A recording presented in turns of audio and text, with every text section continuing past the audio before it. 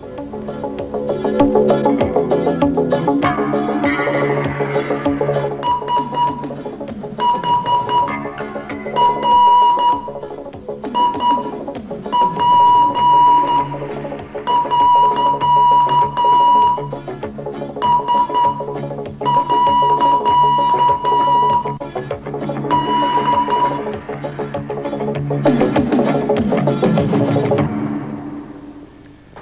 coastal areas in India are the symbols for plenty and prosperity. Rich in resources, the entire east coast is an important link in the international trade. Yet, tropical cyclones obstruct progress. According to meteorologists, five cyclones develop over the Indian seas every year, four in the Bay of Bengal and one in the Arabian Sea. Nine districts along the Andhra coast are prone to cyclones almost every year.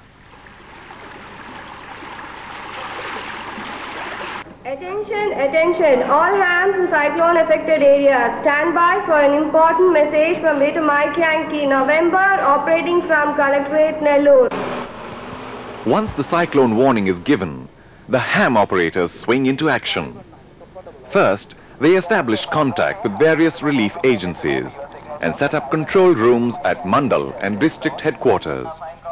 The main control room is set up at the State Secretariat in Hyderabad, from where the government monitors the situation regularly.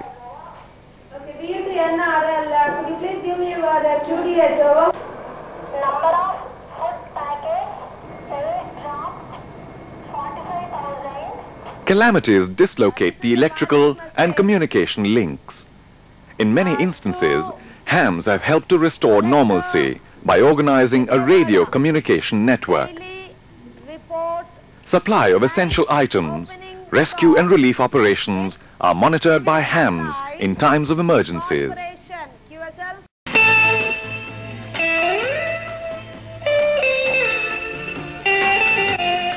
Ham, the amateur radio, is a scientific hobby.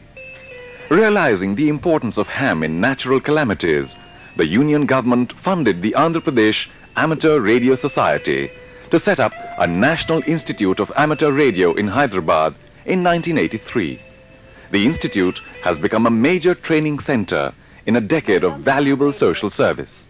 First, let me tell you what is Apart from training, the institute organizes radio clubs throughout the country to promote and popularize ham. Communications carried on between America Anybody above 12 years of age is eligible to become a radio amateur. No minimum educational qualification is prescribed. However, knowledge of Morse code, procedure for communication, and basic electronics are required to pass the examination to become a ham. The National Institute of Amateur Radio at Hyderabad and several radio amateur clubs throughout the country prepare students to get a license. A simple written test and a practical test in Morse code is all that is required to face the examination.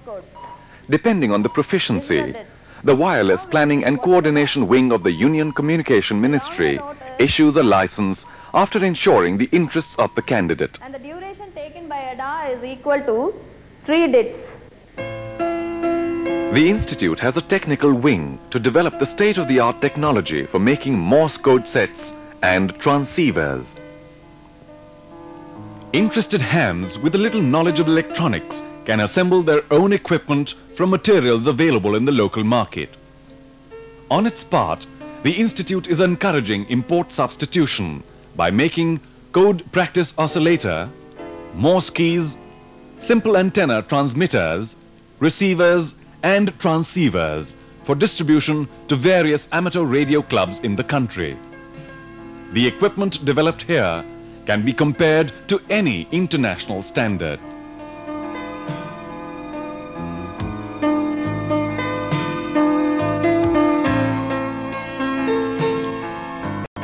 Morse code is an integral part of ham radio service.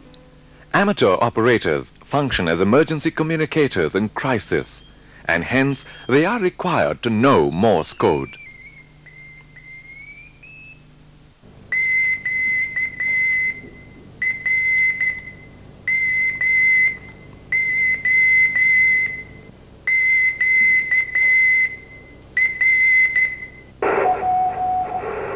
All over the world, many ham operators use Morse code as required by international treaty. 5 words per minute for grade 2 and 12 words per minute for grade 1 in Morse code can get a ham license.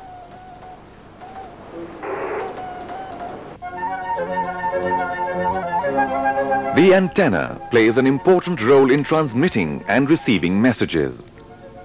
A powerful antenna can receive and send messages to any part of the world. The Institute has an antenna division to fabricate antennas of the required dimension.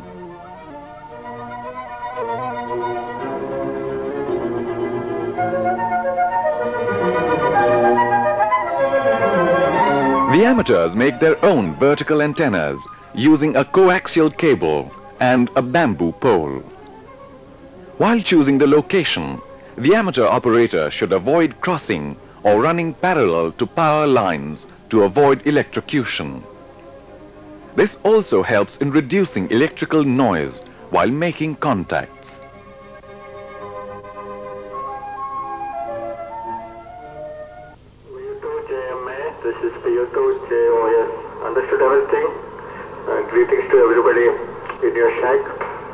This is a demonstration of uh, ham radio. We can communicate uh, each other. Amateur radio operators use very high frequency VHF and ultra high frequency UHF transceivers to receive and transmit messages. The government allows import of sets to amateur operators. The sets up to 50,000 rupees are exempted from customs duty.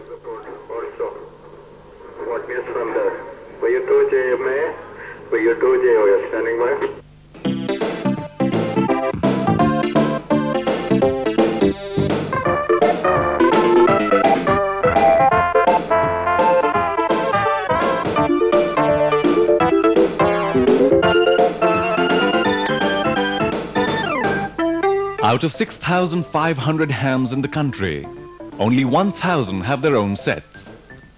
With a view to provide each ham a set, the National Institute of Amateur Radio is manufacturing its own transceivers with locally available material.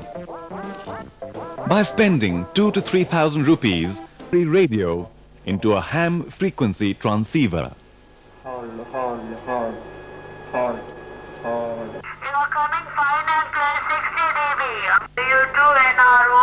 The contacts with indigenous sets are as clear as an imported sets.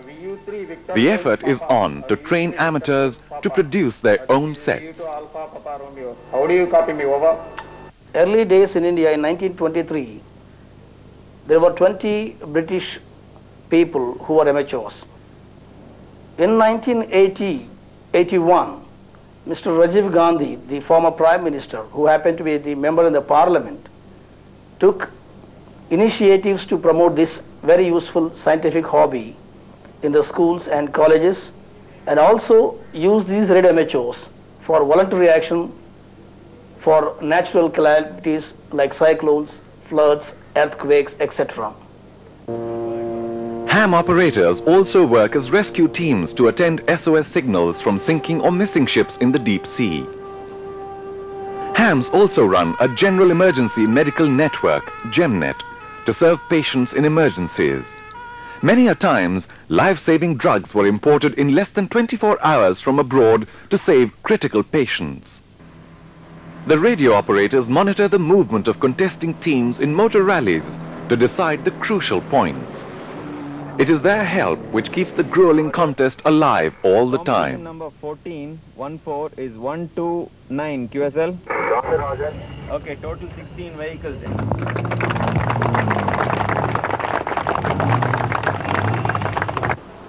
The operator with a walkie-talkie VHF set is always present in most of the major sporting events.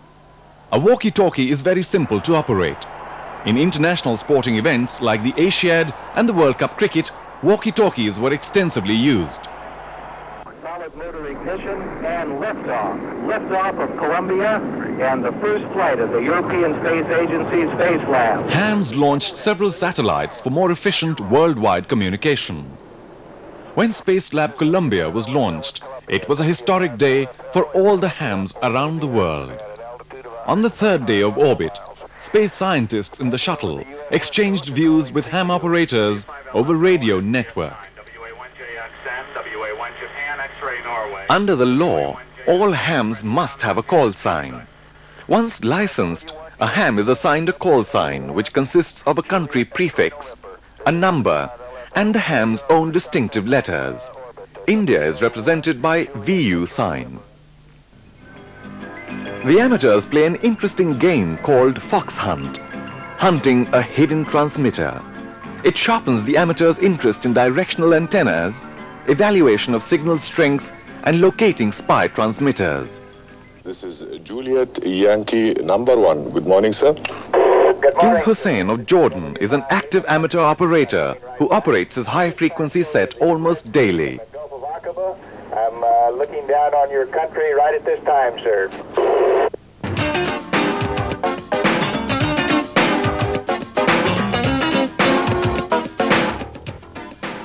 The call sign of every ham is printed in a call book which is published every year. Once a contact is made, two hams will mail each other their QSL cards to put it on record.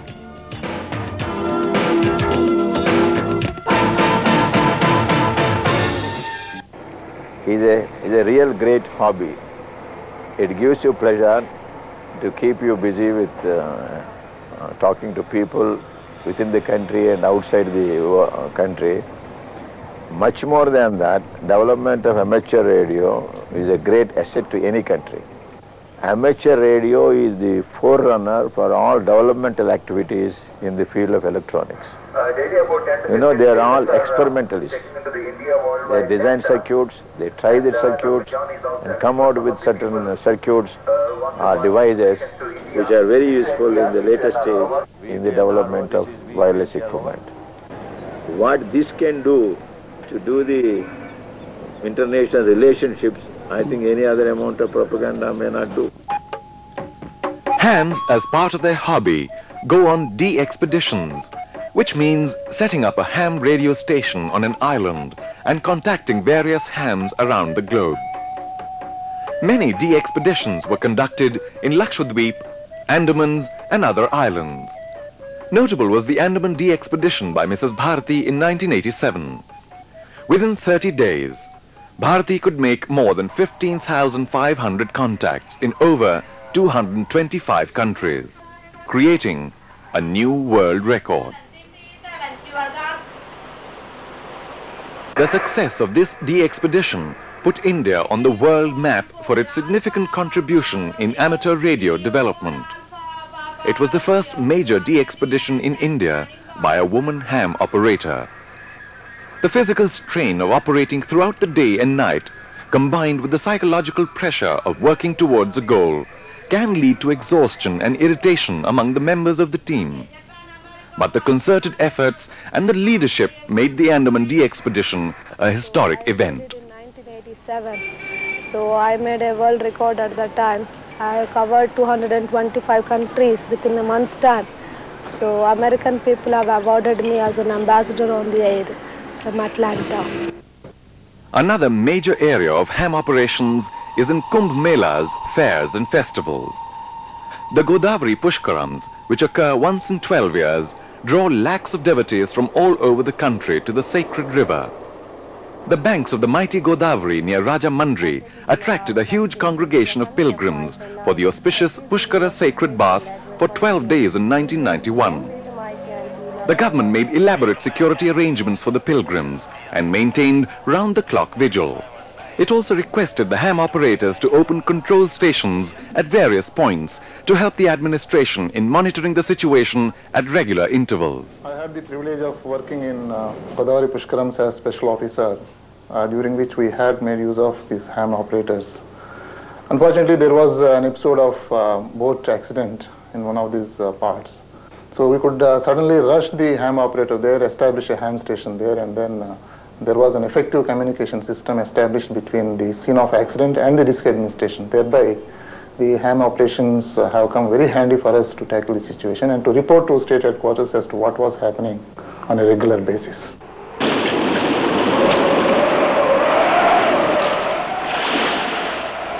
The devastating tidal wave that struck Diviseema in 1977 was the takeoff point for Ham to become the second line of communication. To tackle the natural calamities like cyclones on a long-term basis, more than 800 cyclone shelters were set up to provide quick relief. In subsequent cyclones, the rescue and relief operations were better organized with ham radio communication.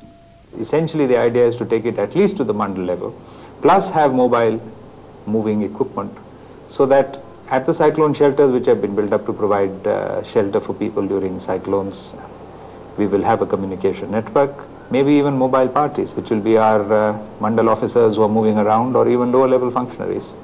The question is, how soon can you familiarize them with using modern equipment? Now that's easier said than done because people change, people have to have an inclination to learn. That is where using a voluntary agency rather than a government training becomes more important. Many prominent film stars, like Kamal Haasan, are regular amateur radio operators. They pursue this fascinating hobby to keep in touch with their fans, co-stars and technicians.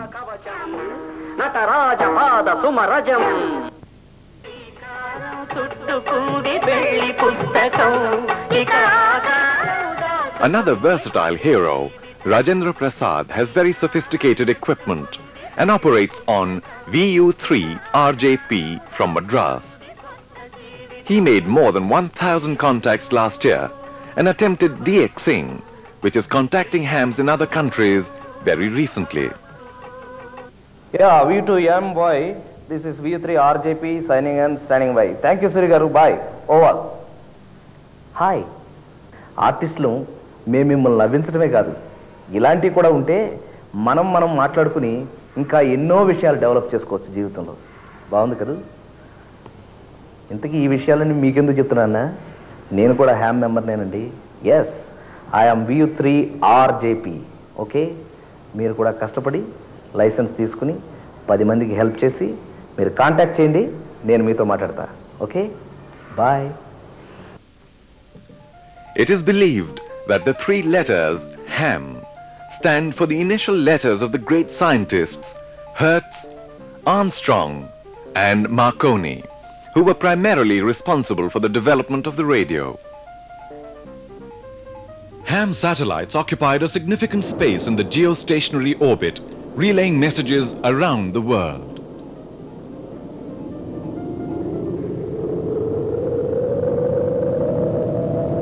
Hams are experimentalists. Bouncing signals off the moon is done regularly to get noise-free transmission.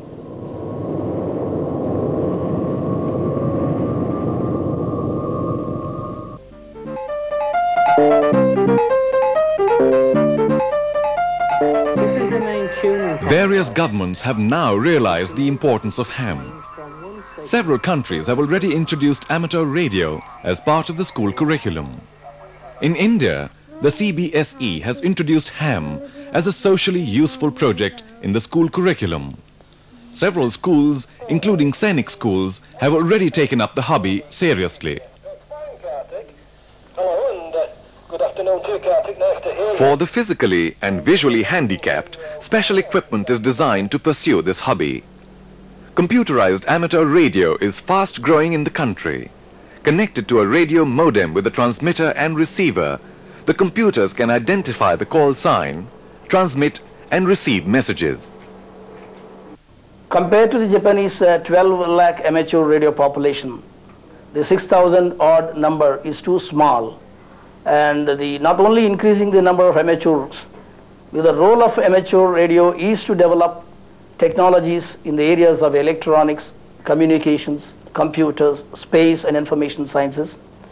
And we would like this younger generation to be in step with the latest advances and also use them for their personal pleasure at the same time learning a skill, that being the objective, that this National Institute of Amateur Radio is now going for more of technical inputs to the students so that they become useful citizens. And in the future, we would like to have the whole country covered by a, a radio amateur civil emergencies network of radio amateurs as volunteers, forming a group and trying to help in all types of natural calamities like cyclones, floods, or earthquakes. Hams in India remember VU2RG, the call sign of the late Mr. Rajiv Gandhi, and his outstanding contribution to the development of amateur radio in the country. He encouraged the hobby and made a small radio society into a large national institute of international repute. Even a few hours before his death, Mr. Gandhi was in touch with his fellow hams. In memory of the late Rajiv Gandhi, the NIAR named its training complex as Rajiv Bhavan. A spirited effort is on to take this hobby to every nook and corner of the country. The hams are alert and on continuous vigil. When the world is resting, some ham somewhere in the globe is trying to establish contact through his radio. Keep it up, QSL. ops on day three, but they're getting uh, problems worked out.